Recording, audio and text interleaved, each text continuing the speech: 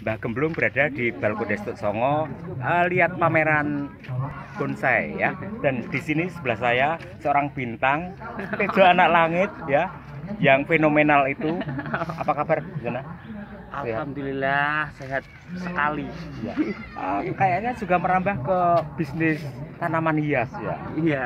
bagaimana jalan baik Wah, asik tanaman hias ternyata lebih asik yang nggak nyangka kalau apa seasik ini loh. Hmm, iya iya Keren ini. ada spirit juga kan Iya. Oke viewer, inilah eh, si bintang sinetron Tejo Anak Langit ya, sangat fenomenal peran perannya menantang. Sudah banyak peran dia lakonkan berapa berapa eh, peran yang sudah Di di Jakarta sih baru empat sih. empat ya Judul sinetron. dan yang paling itu ya apa si Tejo Anak Langit itu Iya. tentunya ya itu ditayang di SCT Anak jalanan RCTI. Oh, RCTI, Kalau anak jalanan. RCTI. ya ya anak jalanan ditayang di RCTI terus Tejo anak langit di SCTV ya Iya. Nah, inilah figur kita Eh, babenya dia adalah sobat dekat Mbah Untung ya. Oke.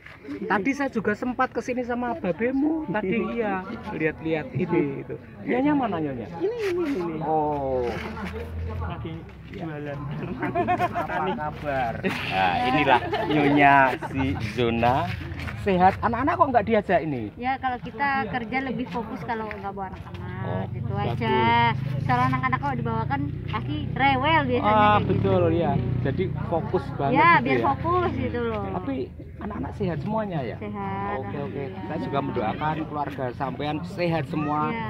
sampean sehat zona juga sehat ya sehat itu penting Ya, apa apa betul, kan betul, betul, ya enggak betul. Ya.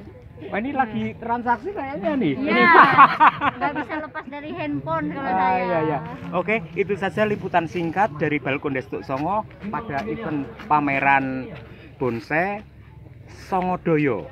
Salam dari Mbah Untung.